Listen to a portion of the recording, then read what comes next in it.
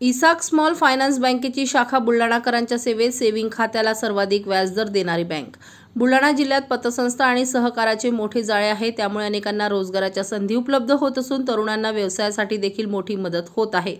अशातच आता अजून एका बँकेची भर पडली असून इसाक स्मॉल फायनान्स बँकेची शाखा आता बुलढाणेकरांच्या सेवेत रुजू झाली आहे.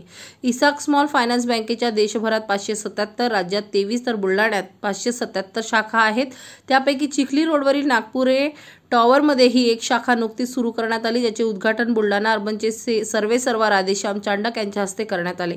तर एटीएमचे उद्घाटन Buldhana अर्बनचे chief managing director doctor Sukesh Zawar यांच्या हस्ते करण्यात आले.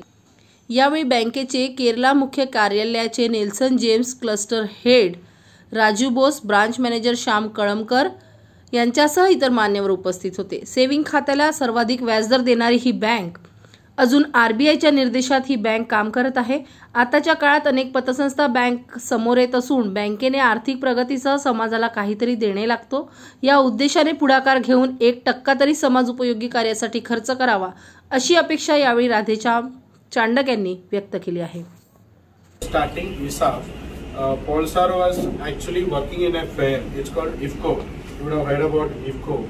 And during that time, he had a kind that I should educate the youngsters because in 80s and beginning of 90s, if you look at, the unemployment was too much.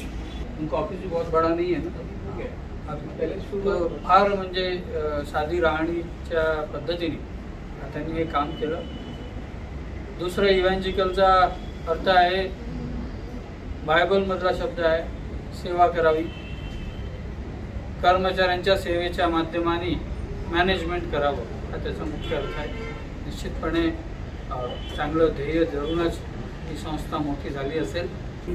की or मुड़ गए हैं और banking facilities के ऊपर और सभी बैंकें एक से एक स्पर्धा में कंपटीशन के अंदर एक से एक सुविधा देने में लगी हुई है। तो चलो आपके यहाँ भी अच्छी बैंक आई लेकिन हमारा तो हम जहाँ भी जाते हैं और सबको बोलते हैं कि मैं बैंकिंग करना पैसे कमाना ये तो सभी बैंकें करती है। लेकिन आप कुछ समाज के देना भी रखते हो। जिस समाज से आप पैसे कमाते हो, उस समाज के लिए आपका एक परसेंट, दो परसेंट कुछ भी आपने खर्चा करना चाहिए।